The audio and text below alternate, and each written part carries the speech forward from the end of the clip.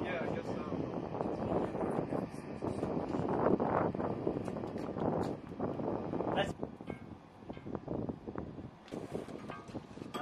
That comes off.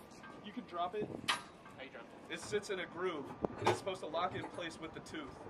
So make sure that, like, that's the most important. This burrs, nick, scratch, nothing broke.